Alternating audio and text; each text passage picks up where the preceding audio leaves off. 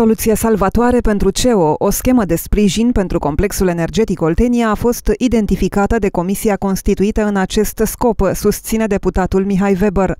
S-a găsit o soluție, comisia de lucru formată din uh, reprezentanța Ministerului Energiei, Consiliul Concurenței, uh, Transelectrica, sunt câteva unități care au lucrat pentru a identifica soluția respectivă, au găsit soluția și uh, sperăm ca până în septembrie să o și punem în practică, să se întocmească documentația necesară uh, și să fie trimisă la, uh, la Comisia Europeană.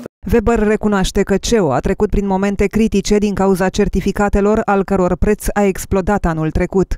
Au trecut prin momente deosebite, dificile, cea mai importantă problemă, o știți și dumneavoastră, cu riscul de a mă repeta, o transmit în direct. Este de a identifica acele mecanisme de a acoperi costul nejustificat al certificatelor CO2. Următorul pas este elaborarea unui memorandum care să fie avizat de CSAT. Trebuie parcurse, în primul rând, realizarea documentației necesare unui memorandum altul care trebuie trecut prin guvern cu soluția existentă și apoi avizarea de către CSAT.